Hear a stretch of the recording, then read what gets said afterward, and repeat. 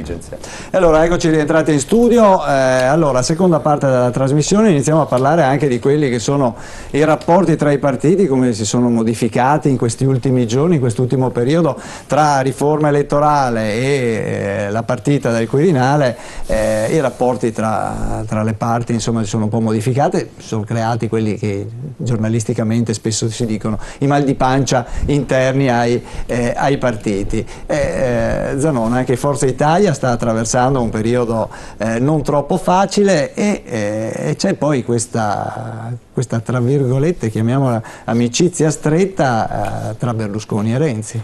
Voi come la vivete? Innanzitutto la parte... Questa amicizia stretta la chiamo senso di responsabilità. Probabilmente il Presidente Berlusconi ha visto in Renzi qualcuno che voglia fare delle riforme di destra. Allora quale occasione ghiotta quella di poter favorire questo tipo di riforme dandogli una mano? Se poi un partito come il nostro che ha le sue legittime lamentele all'interno, dimostra che non è un partito di gomma nonostante abbia un grande leader, ma è giusto che anche noi discutiamo del nostro futuro, perché indubbiamente i tempi del 30% oggi, ahimè, non ci sono. Dobbiamo ricostruire la classe politica interna del nostro partito, la classe politica del centrodestra, poi ognuno nelle varie... Che cosa si è sbagliato in questi ultimi anni? Cosa si è sbagliato? Cosa si è sbagliato non lo so, probabilmente ci si è adagiati a governare. E i nostri politici hanno dimenticato il senso del territorio, hanno dimenticato da dove vengono e quello che un paese ha legittimamente coscienza di dove vuole arrivare. Questo ha portato poi tutta una serie di cose che si sono aperte economico certo. meno. Gastaldon, allora vi ho chiesto anche prima quanto, eh, quanto, alte sono le probabilità, le possibilità che all'interno del partito ci sia effettivamente una, eh, una frattura. Ci sono nei grandi partiti questa possibilità c'è, tanto più se pongono in discussione molteplici opzioni, molteplici proposte. Il Partito Democratico già due anni fa, inutile nasconderlo, ha avuto problemi sulla nomina del Presidente della Repubblica, sappiamo che ci sono stati dei dissenzienti, questo c'è anche oggi per quanto riguarda la fase di governo, non tutti vedono bene un accordo, una larga intesa con Forza Italia, larga intesa che oggi si rende necessaria perché ricordo che noi abbiamo rivotato Napolitano perché non c'erano i numeri tra Camera e Senato in ambo le Camere per dare vita a un governo alternativo. Chi oggi viene a dire Renzi non è stato eletto dai cittadini, Letta non è stato eletto dai cittadini, Monti non è stato eletto dai cittadini, in tutti e tre i casi la legge elettorale non produceva, non aveva prodotto e non dava origine alle Camere una maggioranza forte sia in un ramo che nell'altro. Quindi non si fa esercizio di verità nel dire che bisognava andare a votare ogni qualvolta perché comunque anche in questo caso con questa legge elettorale non si sarebbe riusciti a garantire la governabilità. Quindi ben venga che ci sia una larga intesa per il tempo necessario per delle riforme che non sono riforme di destra o di sinistra, sono delle riforme necessarie, la riforma fiscale, la riforma riforma della legge elettorale, la riforma in senso istituzionale che vada a rivedere il taglio del Senato o comunque la sua riduzione a non un organo elettivo e molte altre riforme che oggi necessitano per il nostro Paese. Non sono, ripeto, di destra né di sinistra, mm-hmm. sono di funzionalità proprio per superare quella stasi burocratica che il nostro Paese in molti campi oggi lamenta. Quindi benvenga le larghe intese per un tempo limitato, se questo produce anche una convergenza sull'elezione del Presidente della Repubblica non possiamo che essere favorevoli a questo. Certo. Ci sono i rischi di divisioni interne, ci sono sempre nelle grandi scelte e nelle grandi riforme. Questi partiti oggi lamentano ancora un problema, sono nati nel periodo in cui c'era la contrapposizione contro una persona o contro una storia. Vale da un lato, vale dall'altro. Certo. Purtroppo non l'abbiamo ancora superato certo. questa fase storica. Con la prossima elezione probabilmente supereremo anche supereremo. Allora abbiamo dei telespettatori in linea, ascoltiamo anche loro. Buonasera, è la signora Michela se non sbaglio? Buonasera alla signora Michela di Annone Veneto, Buonasera. orientale, la realista. Ci dica pure signora. Eh, ne avrei da parlare per una settimana però... No, no, la invito a essere breve. Sento tanta retorica lì in studio ma noi, io sarò sinteticissima. Brava. Concordo con l'editore Casen quando dice cominciate a parlare dei problemi perché ai cittadini stanno a cuore i problemi. Io avrei un nome veneto comunque che a me sta molto a cuore, io trovo una persona degnissima e sarebbe il magistrato Carlo Nordio. Ne prendiamo nota, dopo ascoltiamo, allora No, sentiamo i però, commenti. come diceva l'editore Casen, sono i problemi che interessano la gente. L'altro giorno c'era uno da Roma che diceva questo è un paese morto. Ricordatevi che questo ormai è un paese morto, solo che non sarà mai fallito perché siamo troppi, siamo 60 milioni e siamo troppi. Poi c'è stato un qualcosa che mi ha fatto adirare questa settimana su Rai 3, visto e considerato che paghiamo il canone per tanta pubblicità.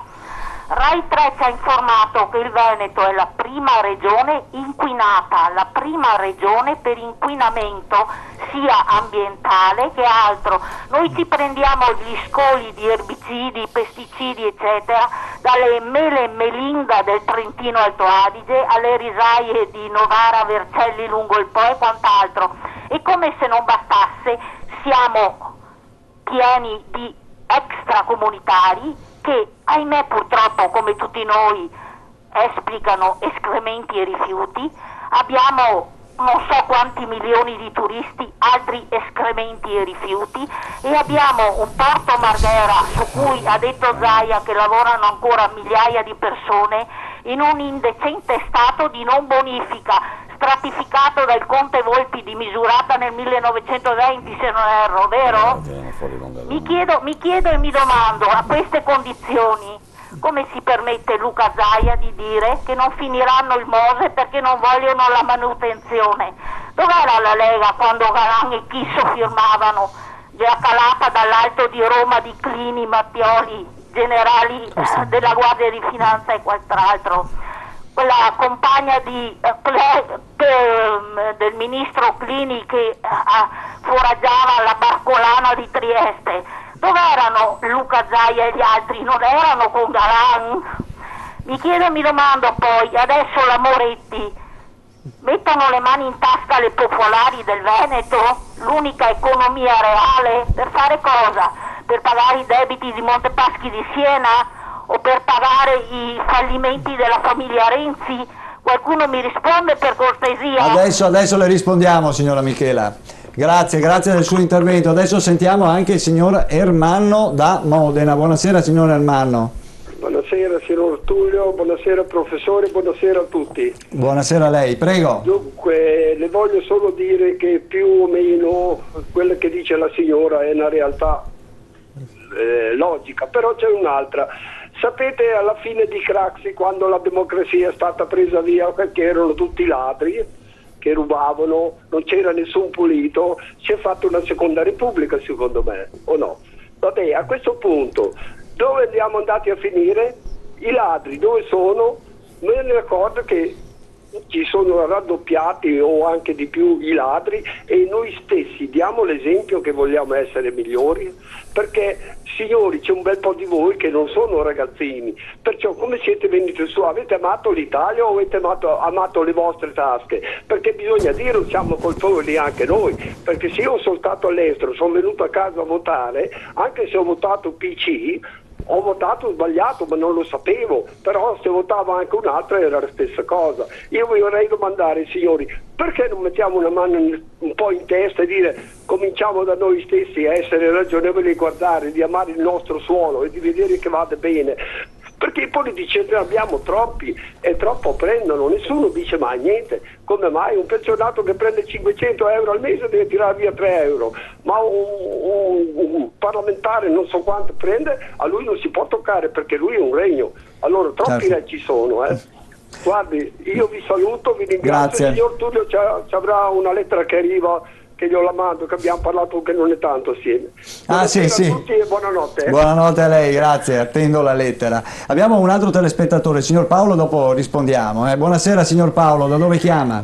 signor Trivellato, buonasera a lei e ai suoi ospiti. Io chiamo dalla provincia di Padova, Casale di Scodosia. Prego allora, cosa vuol dire? Niente, guardi, io le dico una cosa. mm, Qua i politici tutti parlano, parlano, no? ma il vero problema, no? il vero problema è il mondo del lavoro, no? di, noi, di noi operai, no?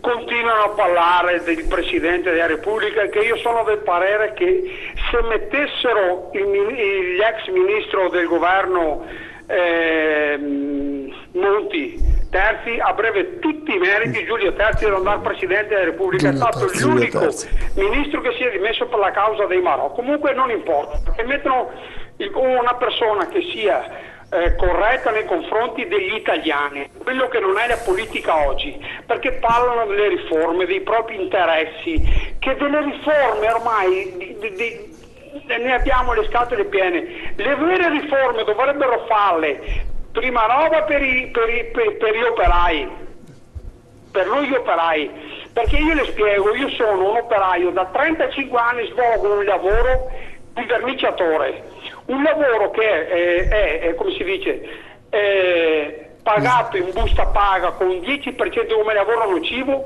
ma non è riconosciuto come lavoro usurante a fini pensionistici. La nostra bravissima ex ministro Fornero, no? Grande donna che io la manderei non le dico dove, no? Ha spostato tutte le pensionali, ma non ha guardato le categorie, no? Allora io dico a questi politici, no? A questi politici che vanno in televisione a sbliaterare tante cose, no? Sbliaterano di qua, di là, no? E poi vediamo cosa fanno, tipo cosa ha fatto eh, Belsito, Galan, quella gente lì che intascano soldi da tutti gli angoli. Da tutti- Sappiamo, sappiamo, signor Ecco, Paolo. no, allora io dico no, noi italiani, noi italiani siamo, siamo un popolo meraviglioso, a parte che io mi- ormai mi considero solo veneto perché l'Italia è bella ma non mi rappresenta più.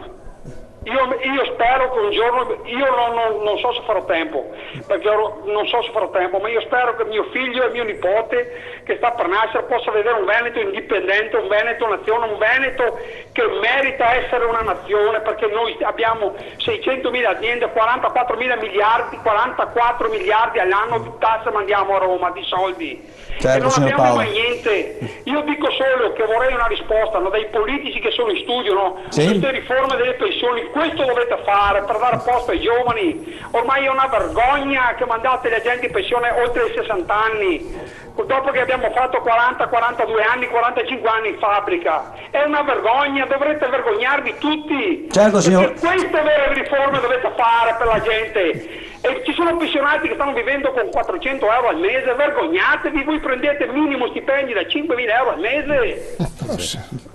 Grazie, grazie signor Paolo allora. È stato chiarissimo. Allora adesso diamo modo anche di, di rispondere Chiar- i, i- chiariamo, i te- i chiariamo chi- telespettatori... chi, chi- chi guadagna 5.000 euro al mese di, di prebende qua perché a me non risulta eh, per- personalmente dopo non so Certo, no, beh, le, le telefonate che arrivano dal Eh, pubblico esistono queste cose eh, qui ha però manifestano ancora i- però, i problemi diciamo, che sono stati la politica. eh, No, sui Yeah, costi, beh, no, eh. sui costi è estremamente importante anche ricordare cosa è appena successo in Regione. La Regione Veneto paga, spende di più ogni anno in vitalizi piuttosto che in stipendi.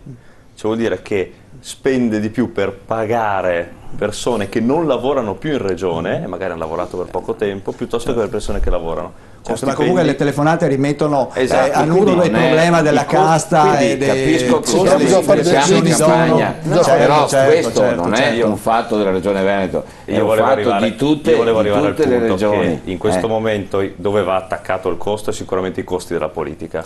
I soldi vanno dati alle No, imprese, perché se ne è discusso aziende, se ne è discusso tanto, però poi alla d'accordo. fine- Allora, però poi alla fine se stato- uno vuole può rinunciare ai soldi, non è che glieli infilano in tasca per forza. Noi rinunciamo ai soldi, Certo. li ridiamo a chi? Alle imprese. L'altro giorno c'è stata proprio una lunga intervista proprio a un imprenditore di Treviso che è riuscito a tenere aperta l'azienda grazie al fondo eh, ottenuto grazie ai versamenti che fanno i nostri parlamentari.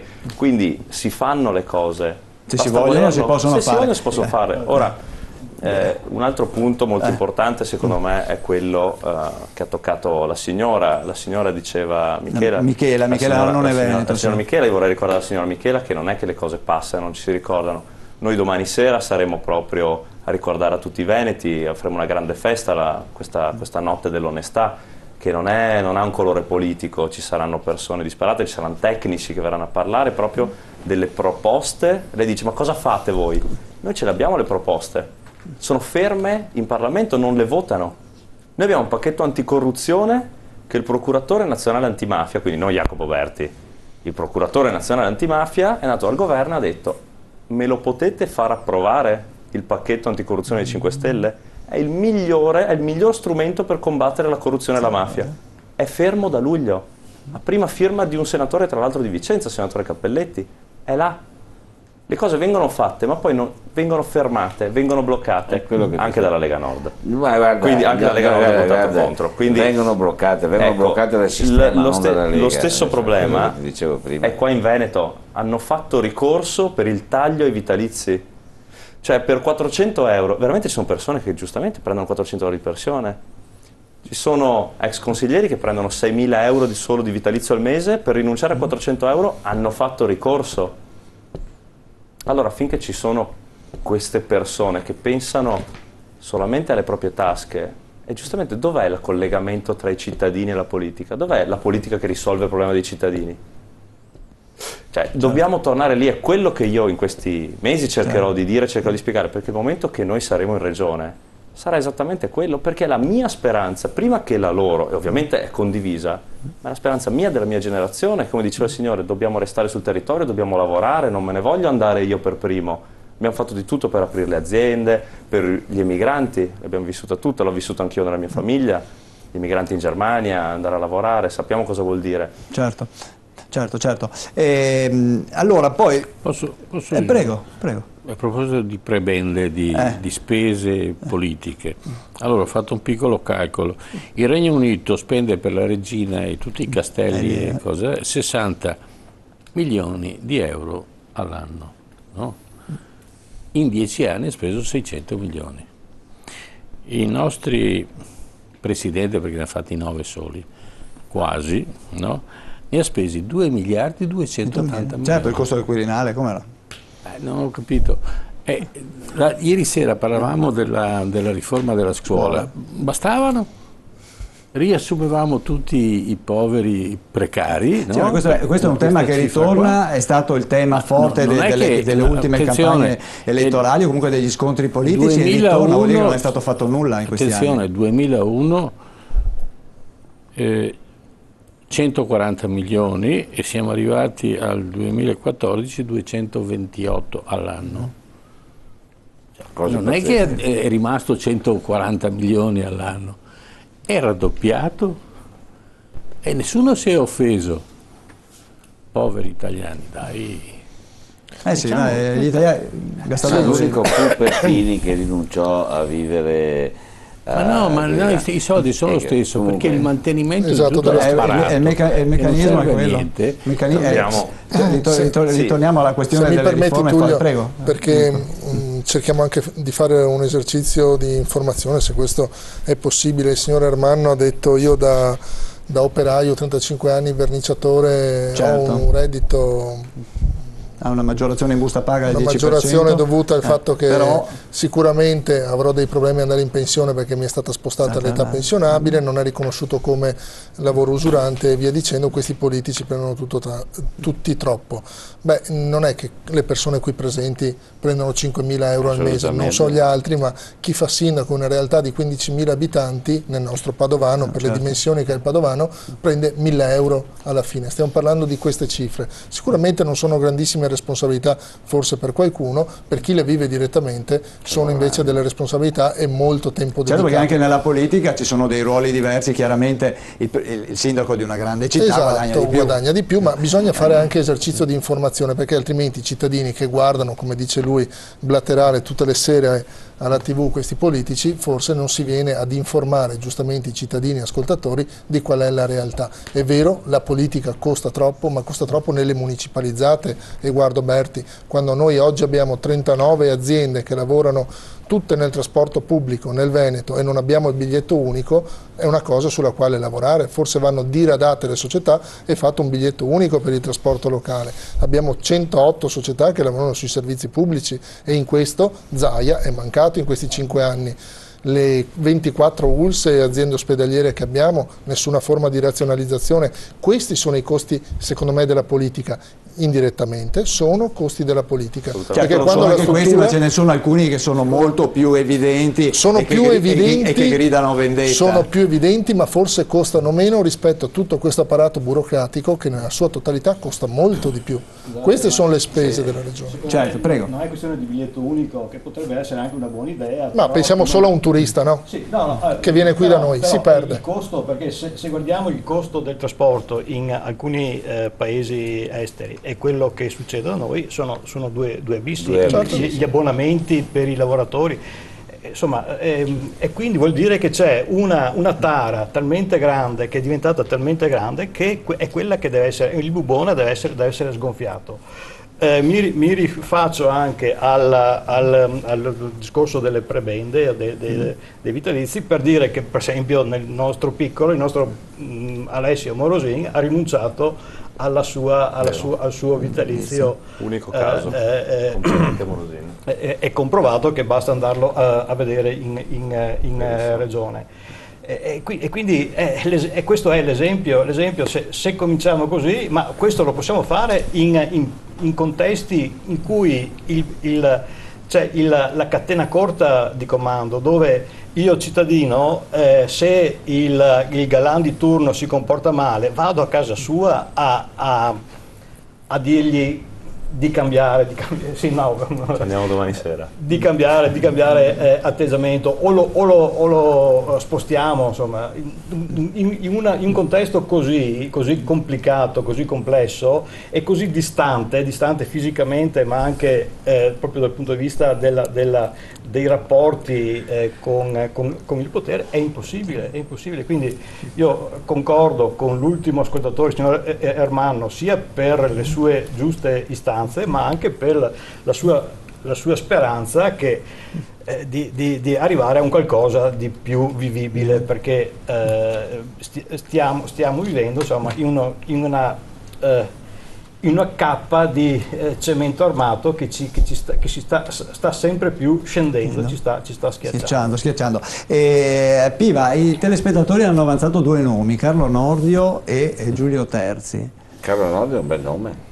Ma eh, eh, io credo che, questi, che i nomi debbano avere anche trattandosi del Presidente della Repubblica anche un rilievo e delle relazioni internazionali importanti. Eh, su Carlo Nordio per esempio questo non, non, lo individuo, quindi non mi pare che possa essere un nome adatto per ricoprire quel tipo di ruolo.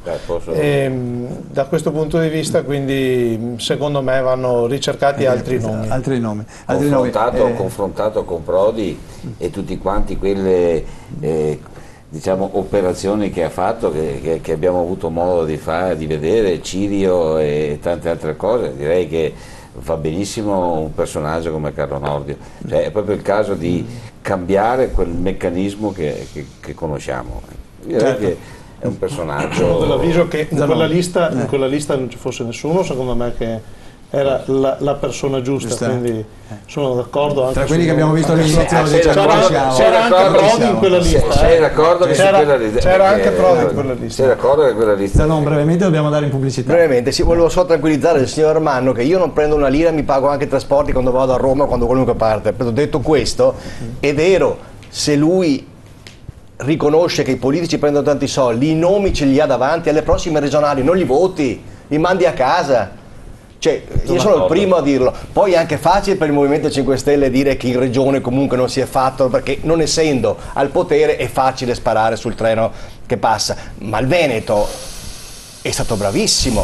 Adesso non dico che, che Zaia è stato il numero uno, Zaia è stato un buon ragioniere che ha gestito il bene che ha fatto qualcun altro anche prima. Eh, La sanità del Veneto è leader in Italia, non possiamo non riconoscere quello. Certo, se poi andiamo in cerca di vedere dove sta solo il marcio oppure andiamo a vedere i problemi economici, certo, parliamone, però riconosciamo che il Veneto comunque sta lottando in un mondo, quello nostro, dove ci sono i tagli e qui abbiamo un sindaco che chi meglio di lui può dire quello che gli stanno togliendo dalle mani per i suoi cittadini. Allora è facile dirci tutte queste cose, però riconoscetevi, caro signor Manno, non li voti, i nomi ce li ha, ha i nomi di quelli che hanno votato per, per questo famoso emolumento, li avete i nomi, ha i nomi di quelli che non hanno voluto la seconda preferenza, no, sono, non li voti, li mandi a casa, è tempo che vadano a casa. Comunque, se no si può dire allora, andiamo che in pubblicità. si poteva governare meglio. Sì. Ecco, andiamo, andiamo, diciamo, andiamo meglio, c'è sempre da fare. Andiamo in pubblicità, allora, tra due minuti, siamo diciamo, qua. Prendiamo quelle che sono le critiche, guardiamo.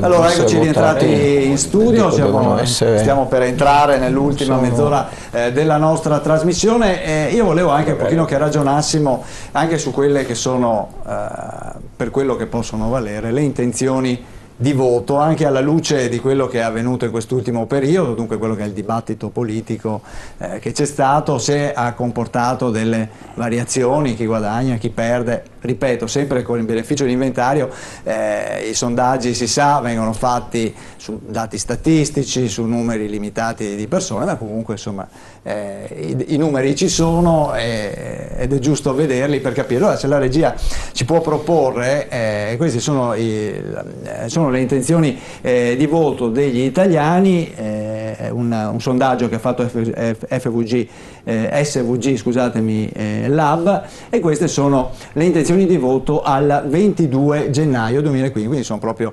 recentissime. Il raffronto è fatto nei confronti del voto delle elezioni europee del 2014 e abbiamo anche un raffronto con quello che era una, una settimana fa. Allora, vediamo, il Partito Democratico viene dato al 38%, aveva ottenuto il 48% alle europee, e quindi è in crescita di uno 0,8% rispetto a una settimana fa. Il nuovo centrodestra eh, in crescita anche lui rispetto a una settimana fa perché dal 3,6 passa, passa al 4,3 e all'Europea aveva avuto il 4,4%, scelta civica eh, sostanzialmente è in calo, anzi no, sostanzialmente è in calo lo 0,3%, eh, altri dell'area di governo 0,5%, eh, in totale l'area di governo ha il 43,1% a fronte di un 46,4% delle... Che è, sbagli- che è sbagliato però Tullio. Perché? 37 più 3 più 2 non fa 46 però. 37. Quanto dovrebbe dare allora? Vediamo.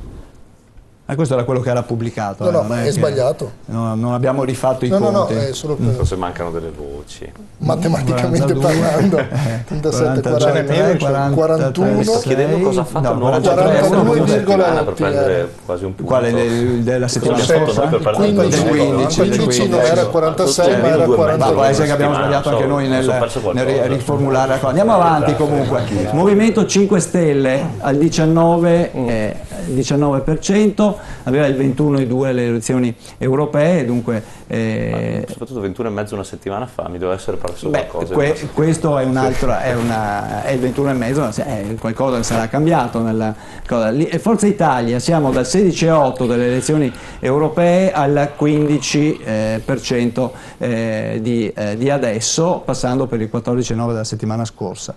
Andiamo alla seconda pagina.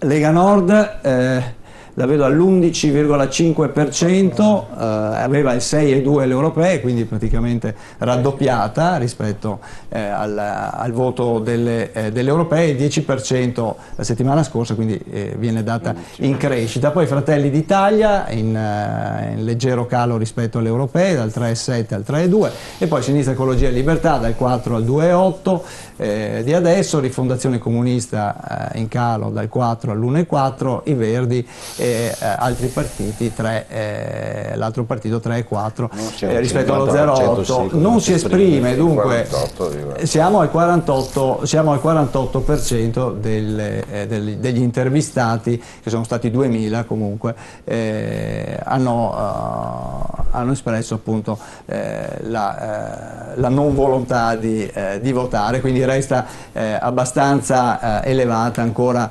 l'astensione. Allora c'è questo balzo in avanti eh, della Lega rispetto alle, alle europee del 2014. Manzolini, eh, è un risultato che, che, conoscete, adesso al di là delle percentuali che possono essere eh, chiaramente diciamo puramente indicative. Salvini sta lavorando molto bene. Eh, eh, soprattutto sta portando avanti un'idea di cambiamento in tutta Italia, quindi sta portando la Lega a, diciamo, su un cambiamento rispetto a quelle che erano oh, le direttive eh, che eh, erano state date con Bossi, un cambiamento eh, sempre con questa voglia federalista, ma soprattutto anche quella di portare il Paese con un maggiore controllo verso l'immigrazione e soprattutto su quella che è la politica europea, perché questo è quello che sente il cittadino in questo momento.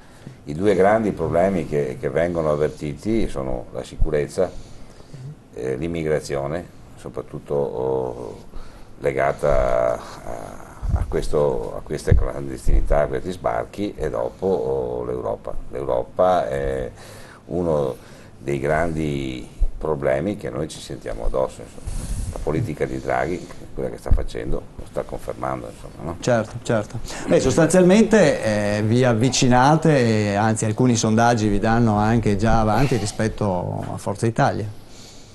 Beh, questo è da vedere, certo che è, è, un partito che si sta impegnando molto, il risultato stesso di aver portato a casa 3 milioni eh, di firme per un referendum che non, non, vogliono fare aumenterà ancora nei confronti della Lega un consenso. No?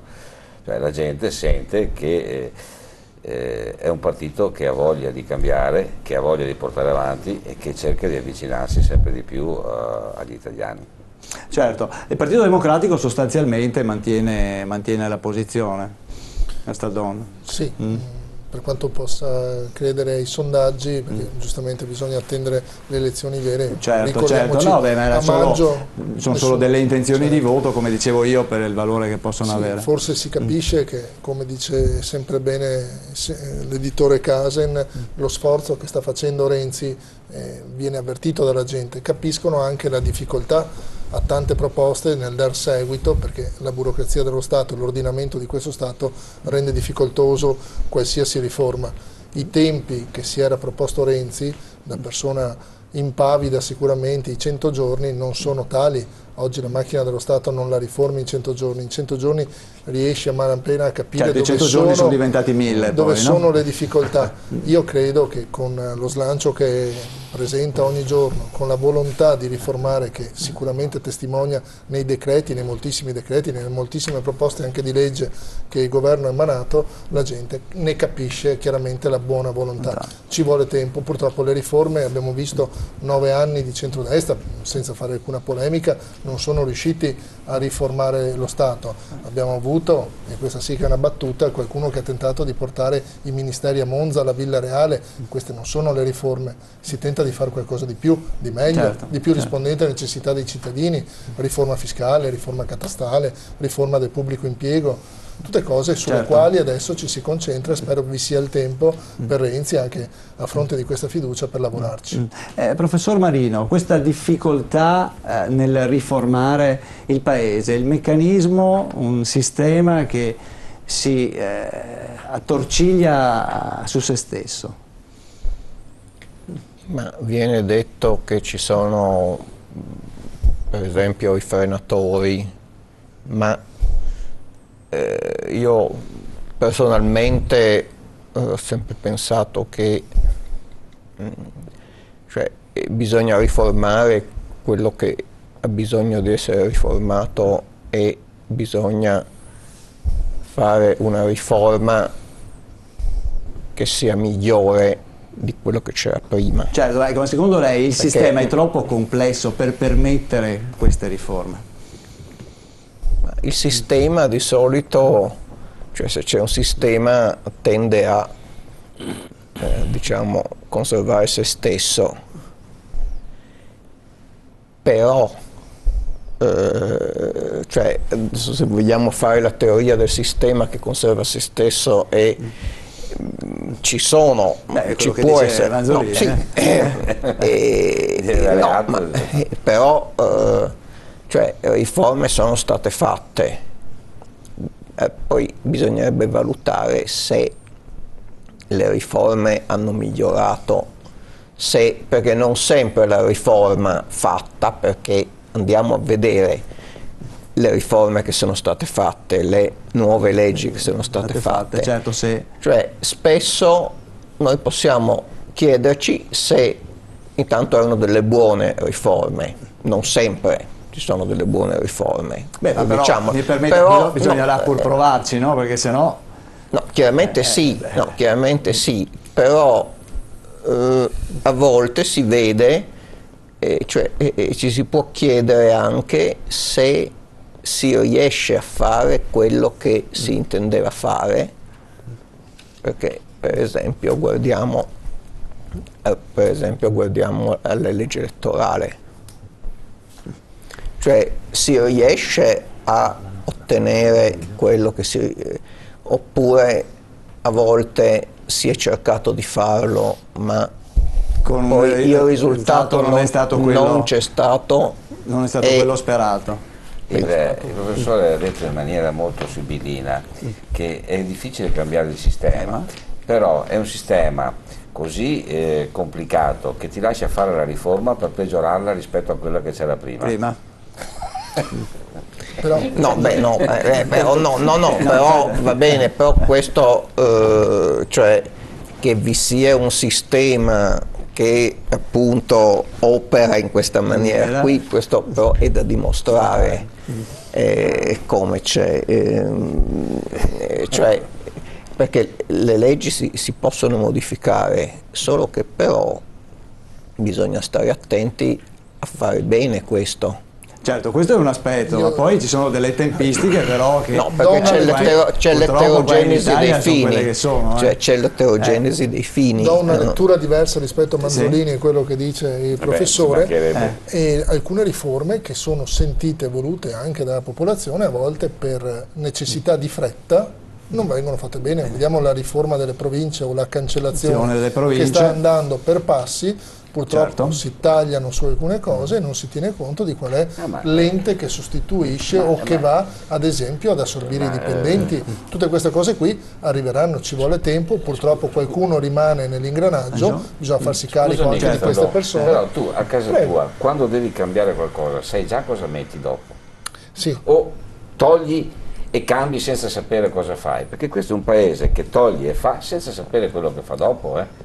Beh, eh, ne abbiamo contezza eh, negli allora, ultimi allora, vent'anni. Allora, allora, vedi che tutto, sommato, che tutto sommato quello che ti sto dicendo ha un senso. Sì, ma io non sto contestando quello che tu dici. Perché, Ti dico eh, che a volte sulla spinta popolare dicevamo certo. le province non vanno bene, sono fonti di spesa. Cosa abbiamo fatto? È stato uno dei tagli proprio. Esatto. No? Abbiamo tolto l'indennità agli amministratori provinciali, non sono più eletti dai cittadini, mm. ecco la maggior distanza dai ecco, cittadini. Esatto. E abbiamo fatto una riforma non fatta bene, che toglie sì dei costi, però lascia dei servizi scoperti adesso. Eh, certo. E adesso ce ne accorgiamo. Anche queste cose devono essere modificate. No, no, ci sono basta, dei servizi. Bastava, bastava non ci si è pensato. chiuderle e basta. No, chiuderle e basta. No, no, no, chi è che io sono per, io sono a livello per il mantenimento della provincia, se, se, ha senso. io sono per la cancellazione della provincia e nel delegare le funzioni a realtà territoriali che comunque devono esserci, perché alcune funzioni trasferite a Venezia, ritorniamo come erano cinque anni fa, centralismo, centralismo certo, certo. veneziano, non più romano e non avevi risposta. Non si chiameranno eh, province, si chiameranno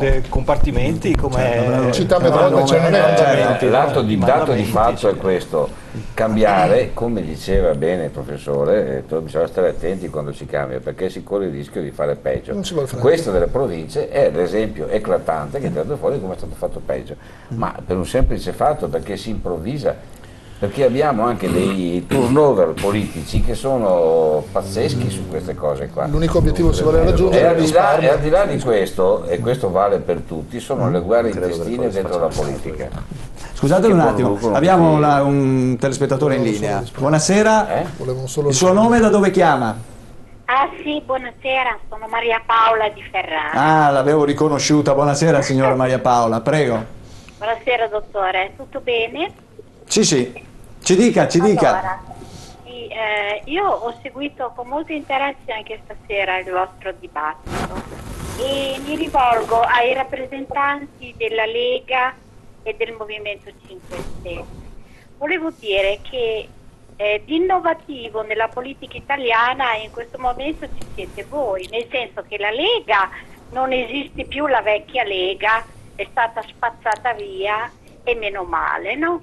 Il Movimento 5 Stelle è un movimento giovane, dove ci sono molte persone giovani mm. e quindi io auspico che il Movimento 5 Stelle si faccia conoscere di più veramente per quello che è, cioè perché avete un leader che delle volte fa, scusate il termine, un casotto che non si capisce più niente, è poco democratico perché se non dite quello che dice lui vi fiducia. Io spero che abbiate la forza, dato che siete così giovani e belli e forti, di poter cambiare al vostro interno, per poter portare le istanze degli italiani con maggior vigore, anche con più visibilità. Un'altra cosa però io vi devo dire, voi sull'immigrazione non avete preso nessuna posizione Bravo. o se l'avete presa l'avete presa molto blanda, mentre la Lega si spende tantissimo e siccome è un problema dei problemi e dei problemi per l'Italia, perché sapete benissimo che noi stiamo ospitando, eh, cioè diamo spazio ai racket delinquenziari, a tutte le mafie del mondo e non mi stancherò di dirlo, e anche per il terrorismo e l'islamizzazione che si sta, sta, facendo il nostro paese, con beneplacito di Renzi, di Napoletano che c'era prima, di quello che verrà, perché tanto il Presidente della Repubblica che verrà fra qualche giorno è già stato scelto e di quello che può fregare o può importare agli italiani non interessa assolutamente nulla. Quindi io auspico che i partiti vecchi, tipo il Partito Comunista, non il PD, il Partito Comunista, perché tanto è sempre uguale, siano spazzati via al più presto, se ne vadano tutti e finalmente forse potremo respirare un po'. Buonanotte. Grazie. Grazie. Grazie signora Maria Paola. Adesso abbiamo un altro telespettatore, abbiamo Antonio. Buonasera signor Antonio, da dove chiama? Buonasera, siamo da Roma, buonasera. Buonasera signor Antonio.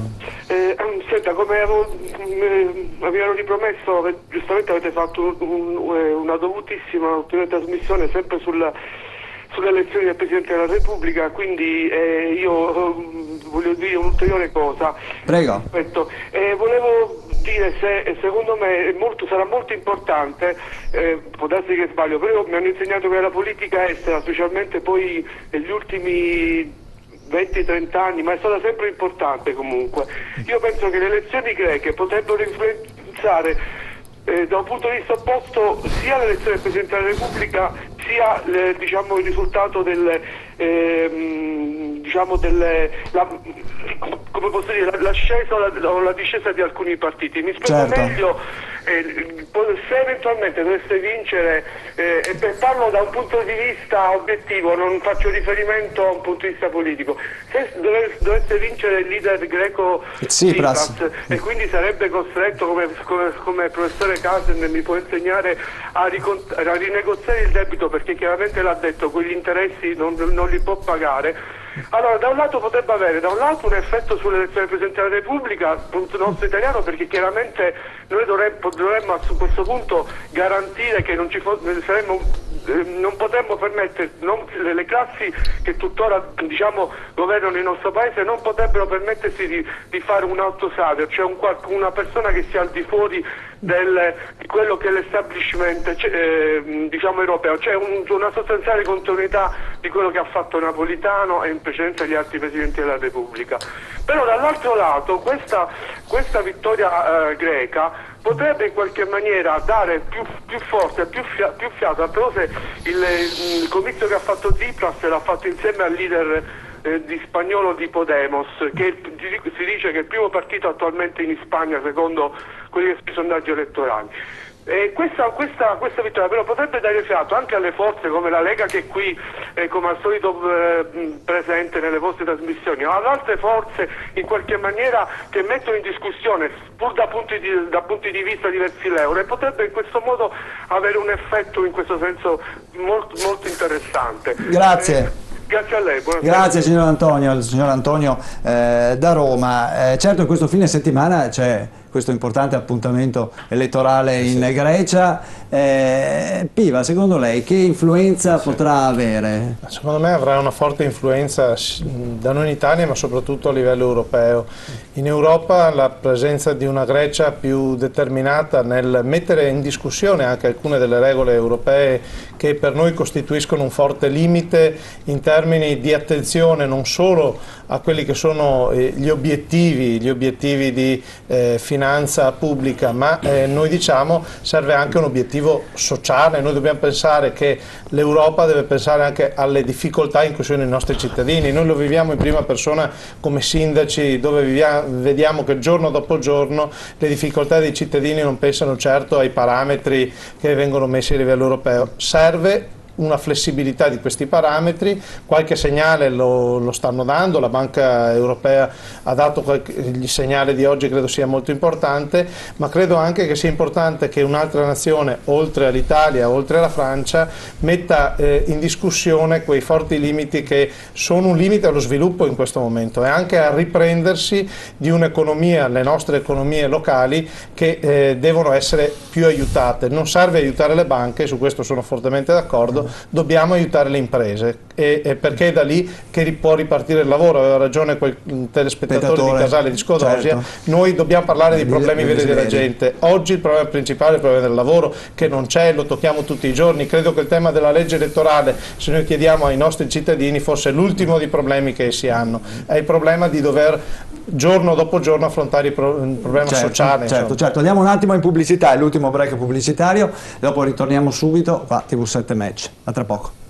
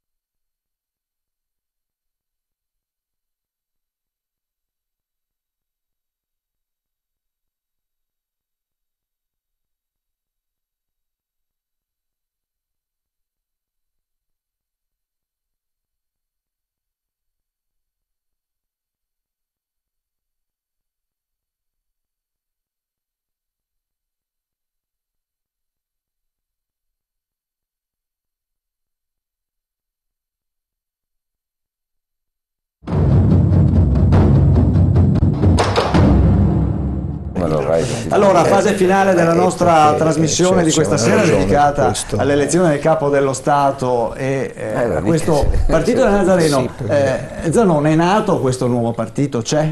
Ma no, ma sono tutte cose che si dicono, proponibili. Ci sono due forze politiche. Stasera io vi ho messo vicino un Gastaldon, prima sì. lontano, perché eh, volevo capire se Ci sono due forze politiche, una forza leader del centro-destra e una forza leader del centro-sinistra, che hanno capito che da soli non si va da nessuna parte. Beh, ma di partito di Nazareno ne parlano? Ma certamente ne parlano, se ne parla. È necessario che si votava ogni sei mesi. Ma se assolutamente sì, che poi eh, tutti siano contenti di questo tipo di... Io sono uno scontento per esempio, però capisco la necessità di poter fare questa cosa. Poi nei prossimi certo. mesi vedremo veramente dove vorremmo andare. Lei, lei è contento? No, lo reputo un passaggio necessario, spero più limitato possibile perché le riforme si fanno assieme così come le leggi di rappresentanza, legacy, legge elettorale, riforme istituzionali vanno fatte assieme. Dopo naturalmente ci sono delle propensioni, delle idee diverse e queste vanno attuate con delle politiche distinte, quindi si tornerà a votare quando ci saranno le prime riforme fondamentali, istituzionali fatte e quindi si tornerà ad avere dei percorsi distinti. Non credo ci sarà una confluenza di due partiti che hanno storie, origini e idee di futuro e di prospettiva diverse. Certo, eh, professor Marino, volevo riagganciarmi a, quello, a, un intervento che ha fatto questa sera il professor Casen a proposito dei rappresentanti regionali che andrà, parteciperanno come grandi elettori all'elezione del capo dello Stato e diceva che il sistema eh, di calcolo non, stato, non era molto democratico democratico. Lei concorda in questa chiave di lettura? Sul fatto che eh. regioni con molti più abitanti abbiano gli stessi rappresentanti di, di regioni che ne Beh, chiar chiaramente il, eh, queste osservazioni sono sicuramente molto eh, eh, dipendono poi dalla, dalla matematica, ma eh, si diceva prima che perché la Costituzione ha fatto questo, cioè la Costituzione stabilisce, ha voluto dire che solo la Val d'Aosta ne deve avere e di meno, eh, che poi è stato detto, come si diceva prima, che eh, questo è stato fatto per ragioni eh, simboliche, per fare un simbolo, però eh, sta di fatto che è la Costituzione che ha deciso, che eh, stabilisce questo, e per cui se si facesse e i numeri che appunto il professor Casen eh, ci ha dato sono molto significativi perché allora eh, questi, questi delegati dovrebbero essere molti di più e chiaramente essendo di più se, de, noi, eh, no, avremo, av chiaramente il, eh, i parlamentari non sarebbero, non sarebbero determinanti mm. e poi chi saprebbe chi sono questi, questi, eh, cioè questi, queste, questi grandi, beh, in, questi, in, questo caso li eleggono quelli che partecipano, vengono eletti dalle assemblee eh, vengono, no, vengono eletti, ma vengono eletti chi sono questi, come si fa a calcolare quale sarebbe il loro voto. Poi perché, mh, per prassi questi delegati sono il presidente della giunta regionale, il presidente, il presidente del consiglio, del consiglio certo. regionale e un rappresentante di minoranza. Certo. No, però eh, perché la Costituzione stabilisce questo, che devono certo, essere rappresentate così. le minoranze, certo, però eh, eh, altrimenti e chiaramente l'elezione del Presidente della Repubblica sarebbe molto diversa. Completamente, completamente, completamente diversa, diversa. Completamente diversa, certo, certo. Allora, Manzolini, il capo dello Stato cosa dice? Una donna le piacerebbe, sì? Mm. Mi piacerebbe, mi piacerebbe anche se eh, quella telespettatrice di Rovigo, no, di Treviso, eh, mi ha aperto un faro su un personaggio che personalmente piace, che è Carlo Nordio, ma certo. penserei anche a un nostro costituzionalista padovano, Mario Bertolissi, cioè un personaggio che è capace di rappresentarci sotto certi aspetti. Poi credo che un po' tutti abbiano o cattedratici o industriali o, o altri personaggi da poter fare. Certo che mi avrebbe fatto piacere vedere su questo Toto Presidenti eh, qualche Veneto e eh, prendendo in considerazione quello che ho detto prima, eh, il professor Kessler ha fatto un discorso matematico e la matematica è ragione io ho, ho, fatto un discorso un attimo più territoriale, però ha una sua matematica, non è possibile che eh, su 15 eh, 10 siano del sud e 5 solo espressi dalla Sicilia, cioè c'è un, un, peso su questa Costituzione fatta uh, in una certa maniera certo. che non quadra. E dopo capiremo e vedremo se poi di fatto il nuovo Presidente eh, era uno dei, sì. sarà uno chi, dei chi nomi che abbiamo, che abbiamo, 15, che abbiamo anticipato. Tutti i 15. Se ne vogliamo uno dell'oro c'è un bellissimo Presidente che si chiama Professor Case, una domanda di politica, il partito del Nazareno c'è già? E lavora? Oh difficile da capire anche per Berlusconi su queste cose è un genio. No, fa tutto il contrario di tutto, ma soprattutto quello, la capacità di Berlusconi, bisogna darne atto, è quella di riuscire a trovare vantaggio dagli errori che lui stesso fa. Cioè, ha questa capacità di riassorbirli e ritornare in pole position. E, cioè, con Renzi ha fatto bingo, insomma, perché un attimo prima se non arrivava Renzi erano grossi problemi perché c'è tutto un um, concetto moralistico su queste alleanze eccetera poi la politica è come un carro armato ci passa sopra e credo che Renzi molto praticamente piuttosto che imbattersi in una crisi irrisolvibile faccia parte anche col diavolo, non dico che Berlusconi sia un diavolo, ma un diavoletto, no, sì, insomma, ecco, diavoletto, ci somiglia molto. Invece volevo parlare, dire, certo, rispondere certo. Al, discorso, al, discorso, della Grecia. In questo momento la Grecia paga il 9% di interessi eh, sullo spread, eh, sui titoli di Stato. L'operazione, come ho spiegato altre volte, avviene in questa maniera. E questi tedeschi sono molto bravi, perché io mi domandavo, ma tedeschi dovranno comprare i propri titoli, sì è vero, li comprano, ma il primo giro lo fanno in Grecia, cioè quando um, il nostro, mm, la BCE, Draghi ha prestato i soldi alle banche allo 0,5%, non so se mi spiego, cioè ha regalato i soldi, tra poco gli darai gli interessi lui, purché se li prendano, e le banche sono andate sul mercato e dovevano prendere i titoli dove si interessa maggiore, no? E si prendono i titoli in Grecia il 9%. Come per il meccanismo che spiegavo precedentemente, la banca prende i soldi e, e li mette a garanzia sì. Presso la propria eh, banca centrale che li riconosce il 90%. Secondo giro vanno a comprare titoli di Stato tedesco, quindi il titolo di Stato tedesco rendono 0,35%, eh? cioè meno di interessi che vanno a pagare alla... però compensando con la Grecia ce la fanno e ci guadagnano la grande senza tirare fuori un quattrino e senza rischiare nulla. Adesso rischiano, adesso rischiano e i greci hanno perfettamente ragione a mettergli quella cosa lì. Eh? perché sono stanchi di mantenere la Germania. La Germania, negli, nei governi precedenti, dove la corruzione della politica anche lì non aveva limiti, hanno comprato carri armati, sommergibili, non so quante cose hanno comprato dalla Germania e si sono indebitati fin sopra la testa. E sono uno Stato che ha 9-10 milioni di abitanti, tanto quanto la Lombardia. E stiamo dicendo che la crisi dell'Europa è colpa della Grecia.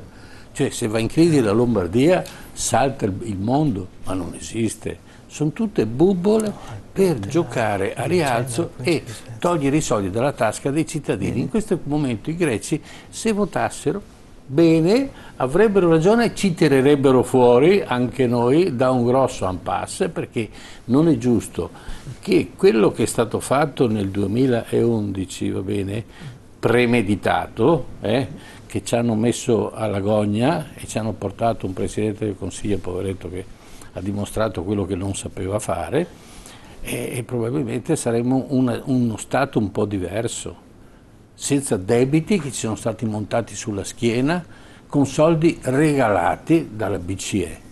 Oggi Draghi finalmente era stato costretto, finalmente si è affrancato e ha cominciato a comprare titoli di Stato, cioè dare denaro a quelli che sono indebitati, perché questa è l'economia.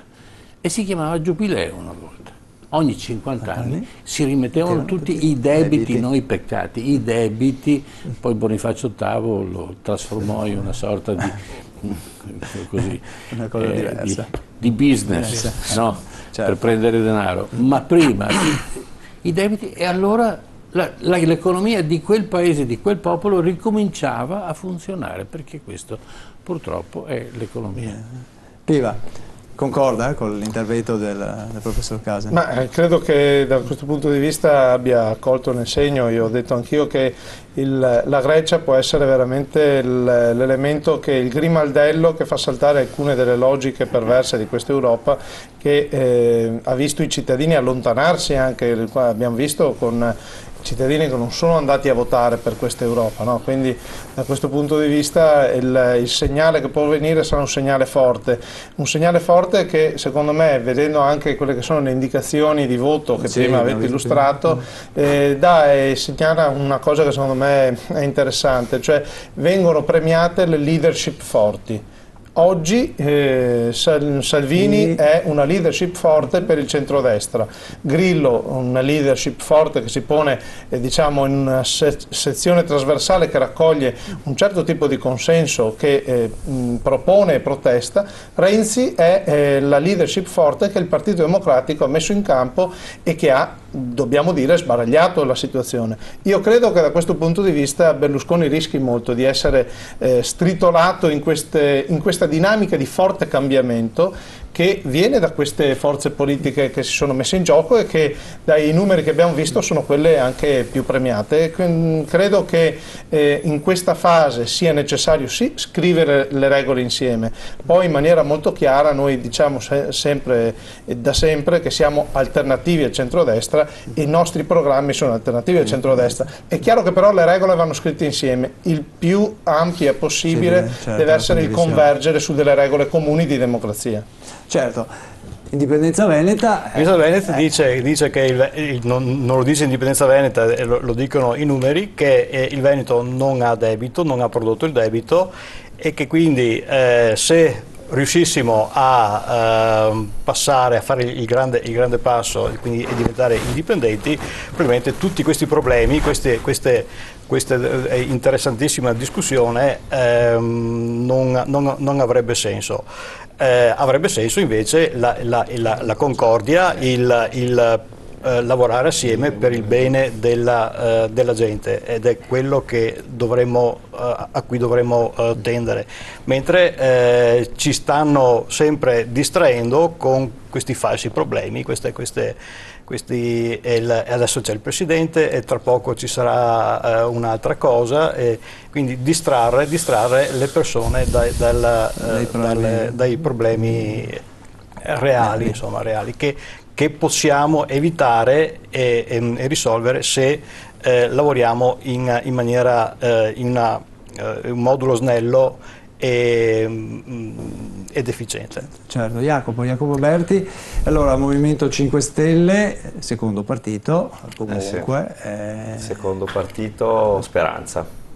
Sono d'accordissimo con l'analisi sulla Grecia, dobbiamo, noi come europei, dobbiamo riprenderci in mano il nostro futuro, quindi hanno ragione i greci a dire ricontrattiamo il debito, noi ci crediamo tantissimo in Europa, noi stiamo raccogliendo le firme per portare il referendum sull'euro, anzi invito le persone a andare a firmare per dare un segno forte, l'autodeterminazione. È fondamentale in questo momento storico autodeterminarsi, quindi il referendum, le persone devono decidere per se stesse, non lasciare che vengano imposte le decisioni. E per questo uh, rinnovo oltre che il primo invito anche il secondo, quindi diciamo, diciamo appunto di domani sera, domani sera andremo proprio a ricordare che non c'è la legge elettorale, non c'è l'elezione del Presidente della Repubblica, ci sono i problemi quelli reali, c'è il problema della corruzione, dei costi della politica, c'è un Veneto che deve andare avanti, c'è un Veneto che deve avere delle speranze e deve avere delle risposte. Noi per quello siamo anche in strada, perché non si può solamente fare attraverso la modifica dell'articolo 4 del comma 2. Bisogna riboccarsi le maniche, sporcarsi le mani, mettersi in gioco e dare delle risposte concrete, che iniziano anche da azioni eh, forti per dare sbocco a queste proposte che ci sono, ci sono, e adesso è il momento di attuarle.